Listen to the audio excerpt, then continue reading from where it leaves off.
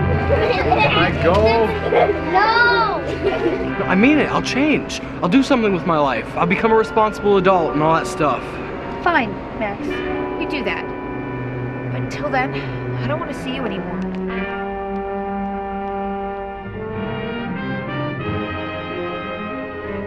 Private investigator. We're having trouble with this guy, Max Anderson. He's a private eye. Ever since these guys came into my office, they've been trying to kill me.